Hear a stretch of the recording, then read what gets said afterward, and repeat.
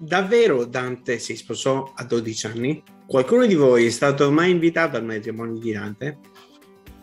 No? Peccato!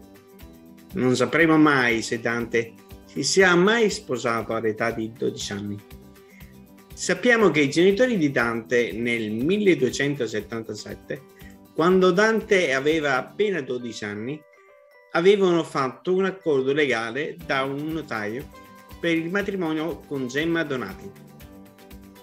Non sappiamo quanti anni avesse Gemma Donati in quell'anno, direi non sappiamo quasi nulla, né la data della sua nascita, né quella della sua morte. Dante parla pochissimo di sua moglie. Sappiamo più di Beatrice, ma di Gemma Donati non sappiamo quasi nulla. Probabilmente nel 1277 si è solo stipulato un accordo prematrimoniale per la dote di Gemma Donati.